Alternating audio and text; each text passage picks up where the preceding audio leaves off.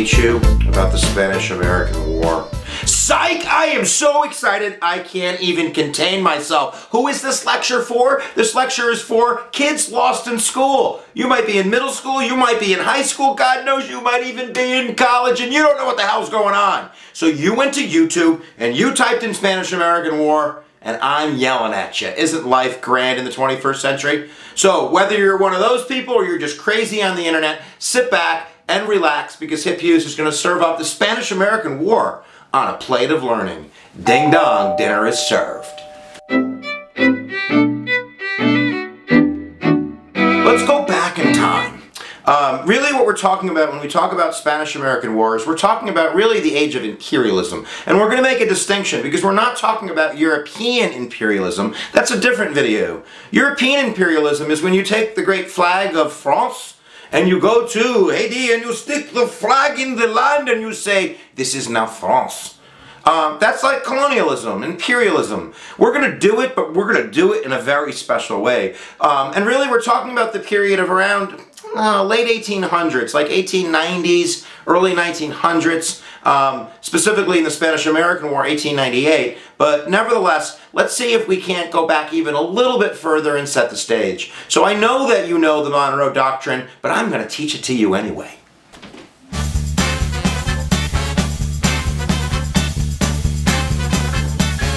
Dog piss in the hood.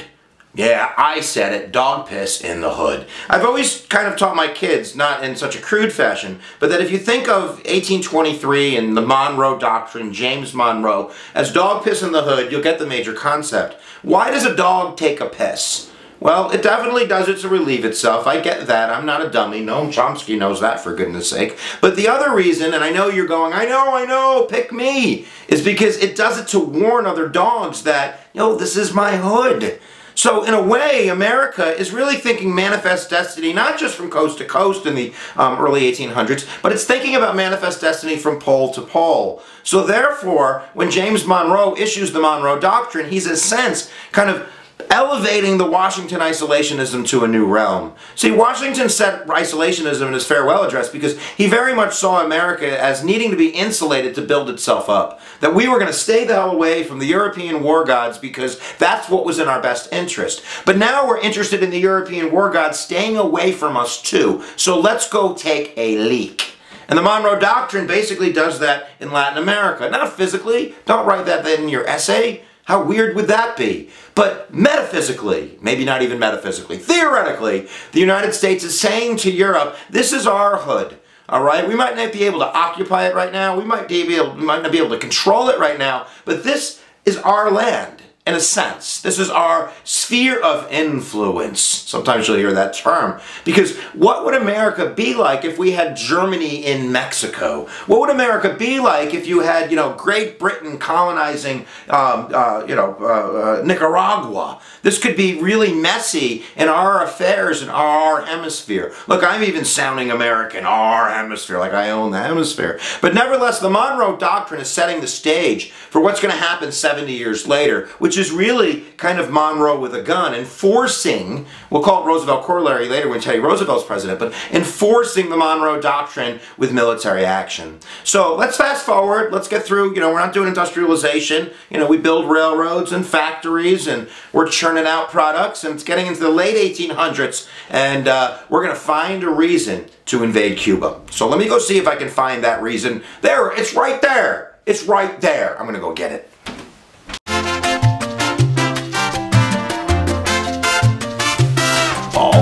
I'm so excited. So here we go, guys. Um, really, first you want to understand that there are pro-imperialists in America, people that believe in war, um, uh, Admiral Mahan or uh, the senator from Massachusetts, which is Breckinridge, uh, William McKinley. There's people that, you know, are I'm not saying that they love war, but they see war as an avenue in order of strengthening the American empire. Um, in a sense, not imperialism in stick a flag and take it over, but in our spheres of influence, having a navy. Mahan writes about this in the influence of sea power um, in the Pacific. Um, later, that'll be the Hawaiian Islands that we're going to take over. Um, that's an ugly story with Queen Liliuokalani, but nevertheless, um, the open door policy in China, um, Admiral Perry in, in Japan. The United States also had inter intervened, I think, like a hundred times um, in the 1800s in Nicaragua and Argentina and all over the world in order of protecting American special interests. That's always been our thesis. That's why we always do things.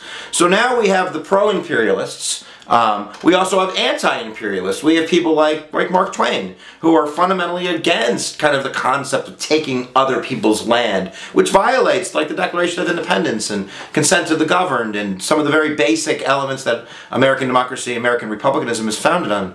Um, and then I think you have another community that's not talked about a lot of times in your textbooks, and that's the business community.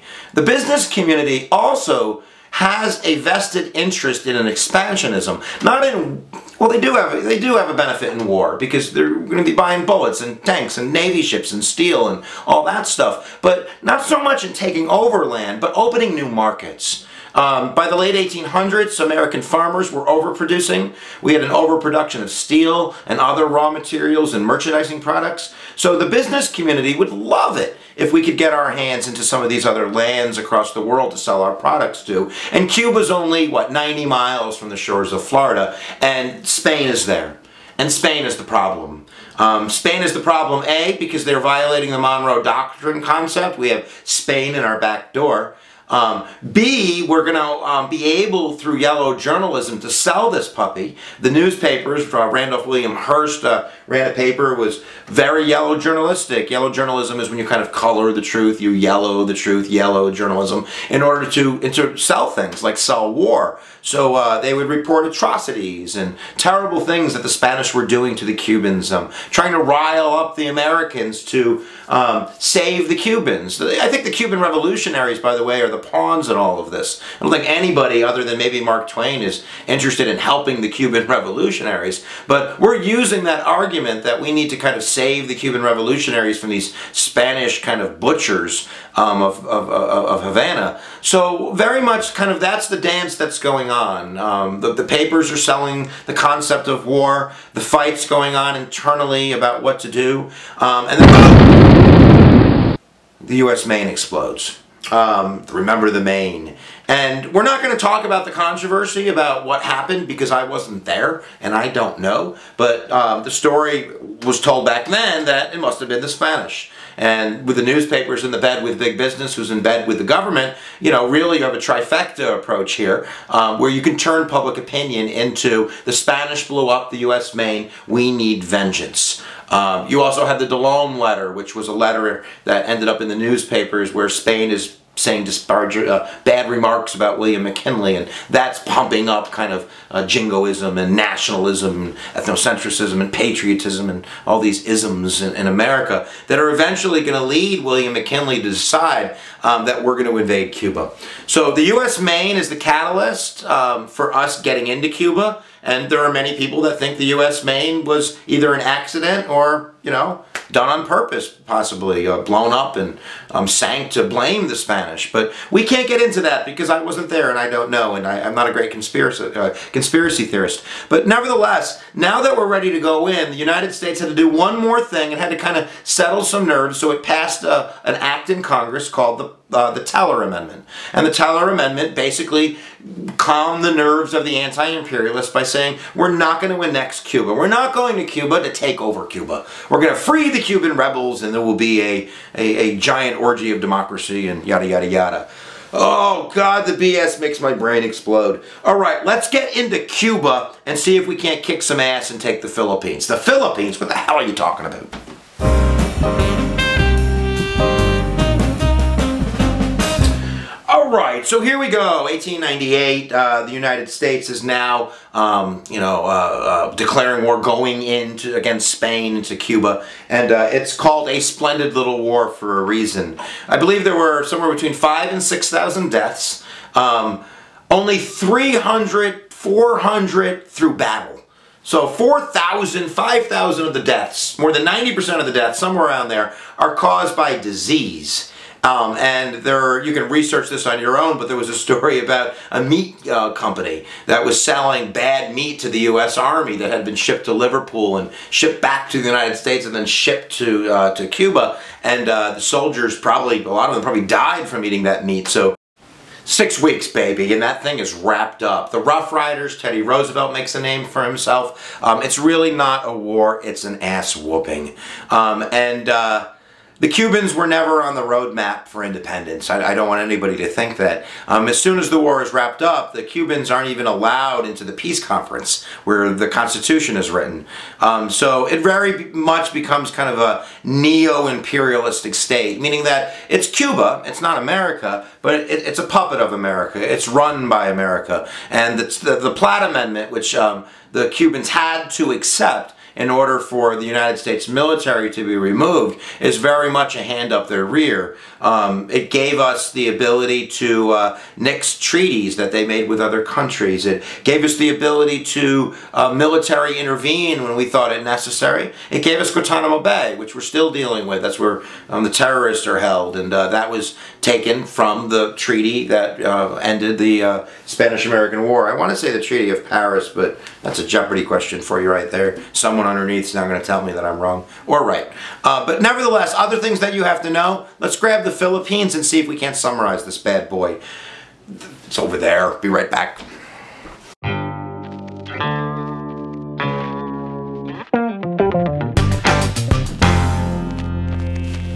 So we quickly had mentioned Admiral Mahan um, when we were talking about the influence of sea power, and uh, he happens to be in the Pacific Ocean, and we happen to be near the Philippines during this six-week adventure into Cuba, and uh, kind of, you know, he grabs the phone and calls up McKinley, and what do you want me to do? With a Spanish flag and the Philippines. And we took it. We took it.